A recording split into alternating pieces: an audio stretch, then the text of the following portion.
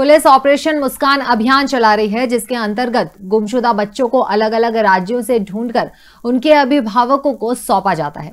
इसी अभियान के तहत कटनी पुलिस ने 10 वर्ष की बालिका को बिलासपुर से ढूंढा और 17 वर्ष के बालक को सागर से ढूंढकर उसके परिजनों को सौंपा। परिजन भी अपने बच्चों को पाकर बहुत खुश हैं। पुलिस द्वारा चलाया जा रहा है ये विशेष अभियान। ऑपरेशन मुस्कान के तहत दो माह पूर्व लापता हुई 10 साल की नाबालिग बच्ची को ढूंढकर उसके परिजनों को सौंपा गया है। ये बच्ची छत्तीसगढ़ से बिलासपुर में मिली। थाना प्रभारी आशीष कुमार शर्मा ने बताया कि इसी अभियान के तहत ही 17 साल के नाबालिग बालक को भी सागर से ढूंढकर उसके परिजनों को सौंपा गया है।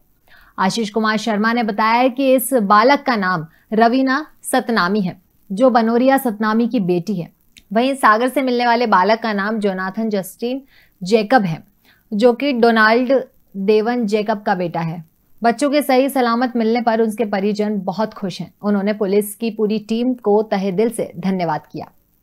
पुलिस मुख्यालय के द्वारा चलाए जा रहे अभियान मुस्कान के अंतर्गत श्रीमान पुलिस अधीक्षक महोदय के निर्देशन में, श्रीमान अतिरिक्त पुलिस अधीक्षक महोदय के मार्गदर्शन में दो माह पूर्व गुमशुदा हुई बालिका को दस्तयाब करने में सफलता प्राप्त की है। बालिका को सरकंडा, बिलासपुर, छत्तीसगढ़ से दस्तयाब कर उसके परिजनों को सुपुर्द किया गया है। एवं एक और नाबालिग गुमशुदा को दस्तयाब किया गया है। Rabindranath Tagore University Bhopal, only private university in MP to be NIRF ranked for five consecutive years. जहाँ है 600 से ज़्यादा company tie-ups for placements, Atal Incubation Center for nurturing startups, Industry Academia collaboration for exposure of real industry world, 20 centres of excellence for research साथ ही global festival विश्व रंग में शामिल होने का अवसर देता है Rabindranath Tagore university unlocking potential.